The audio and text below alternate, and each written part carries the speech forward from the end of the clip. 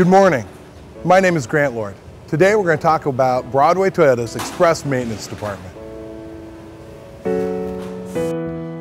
Our Express Maintenance Department um, is comprised, we have six bays that are just tied to Express Maintenance to get your car in and out quickly. Um, technicians work in two-man teams.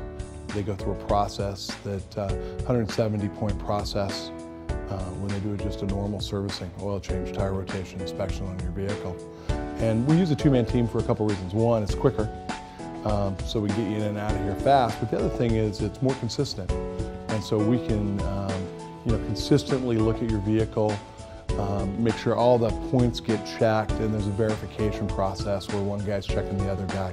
And just means we make less mistakes that way. Um, it's, a, it's a great program.